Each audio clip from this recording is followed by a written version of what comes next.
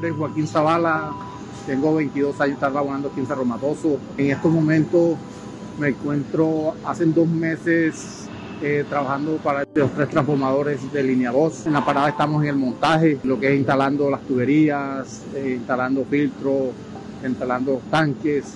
Tratamos de hacer las cosas bien, que todo nos salga perfectamente. A nivel personal, me siento muy bien eh, en este proyecto porque eso le abre puertas a uno y este es la forma de, el sustento de, de, mi familia para sacar mis hijos adelante y para dejar, dejar el nombre en alto de la empresa que es Grupo H.